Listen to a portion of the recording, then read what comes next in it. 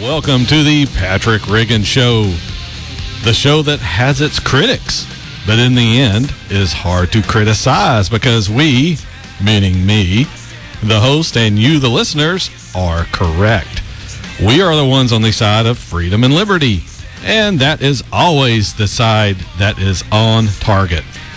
While these other shows are out there wildly shooting into the air, hoping to hit something, we are always landing dead center of the bullseye on the issues. Helping to spread our logic and reasoning worldwide is the radio station here in East Tennessee that rules the roost. WNOX FM, found at the frequency of 100.3 megahertz, or megacycles if you're from the old school. If you would prefer to get your information via the digital highway, you can also tune into this broadcast at the station's website. The address for that being www.wnoxfm.com. There you can watch and listen to this show live from the exclusive webcam. On it, you can view the plush and air conditioned studios of WNOX located on historic Kingston Pike in Knoxville, Tennessee. Standing here to my left, if you're watching on WNOXFM.com, is the show producer Tori, who is uh, currently ogling the Olympics. I, I am watching the female beach volleyball, and I have to say, I am very happy and very angry at the same time. Yes, you're not happy with the American uniform, With the uniforms, no. but the Argentina's who is that? uniform. Argentina. I Yeah. like those. that is political correctness run amok. Oh, I know, and I don't even want to get in on it, like get into it like that. But yeah, that's Yeah, that it's it's, it's everywhere here. we don't want to make everybody else mad. Yeah, I can't do that. Have to have to think of everybody else. Well, and you know. the other countries don't really bother with that. But tell. the ladies are wearing long sleeves. If, if you're not watching, long sleeves with uh, bikini bottoms. Yeah. So I guess the legs are okay, but But- not arms. yeah, and they got turtlenecks too, don't they? Basically, I mean, it's it's it's basic. Yeah, and the Argentinas are out there. Uh, well, looks like they're wearing thongs. just just put it yeah, put it this way. Tori's gonna be- Argentina don't care to make the rest of the our world mad. I, I figured what'll what'll be going on is you'll be pushing wrong buttons all day today. Oh yeah, yeah. What are we talking about? yeah, exactly. We're, we're winning, so Every, yeah, every, the the answer to every question today will be Argentina. what was I saying? Wait till Brazil plays. exactly. All right. Thank you to everyone for tuning in again this week. Like every week, I have a jam packed show, probably easily three hours worth of material, but I'll try and get to as much as I can. That leads me to a quick broadcast issue I want to address before we get started this afternoon. I frequently get emails about this, and also whenever I run into someone who listens to the show, it, it most certainly comes up then as well. And the issue is one of taking callers on the show. I try to get to as many callers as I can, but unfortunately, I have so much when I come into the studio. If, if you watch on the webcam, you, you see me come in with a laptop and a huge stack of papers. When I come in the studio, I have, I have a hard time trying to get to everything that I bring in here in, in the 40 odd, some odd minutes I have available.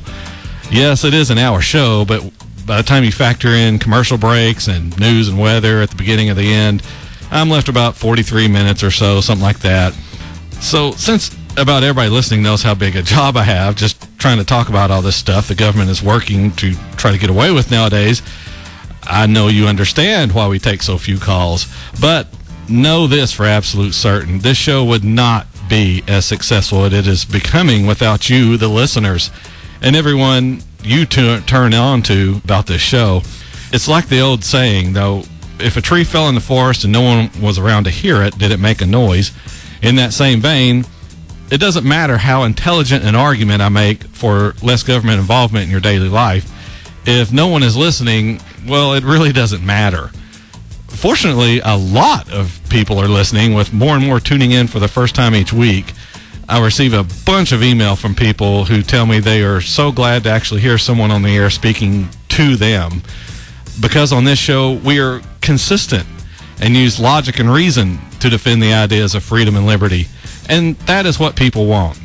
They don't want a host that just yells and screams but doesn't really say anything, or a host that tells them they want less government and then turns around and falls into lockstep with that same government when it is trampling on our rights and liberties.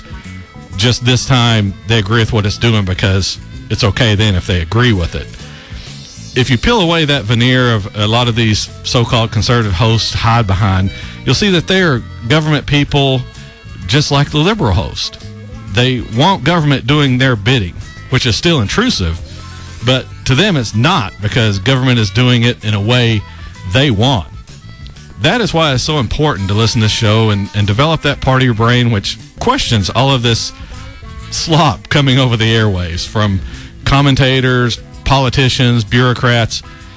When you start listening with a critical ear, you'll start seeing how so much of what is going on in the country today saps away your freedom little by little. The good thing is you will stop accepting what you're being told and start thinking for yourself. That, my friends, is the key to turning this country around. The key that unlocks the door to the vault where the government has hidden away our confiscated freedoms and liberties. Even those freedoms and liberties which we have willingly given up, or others have given up without our consent. Now, the fight won't be easy nor quick. Uh, that's because taking away your freedoms only takes a president's signature on a piece of legislation. Although increasingly it is the dictate from some unknown bureaucrat in a faceless government agency. When it comes to restoring the rights taken away, progress is extremely slow and painful. And in America, it is supposed to be the opposite. Taking away rights should never be easy. And you don't have to worry about how much pain it takes to acquire them because by being born human and in this country, they are yours supposedly automatically. So we're up on the first break uh, of the show already. It's very short hour, very quick hour. When we return, we'll talk about, oh, we'll talk about uh, Obama's speech that has been all over the news.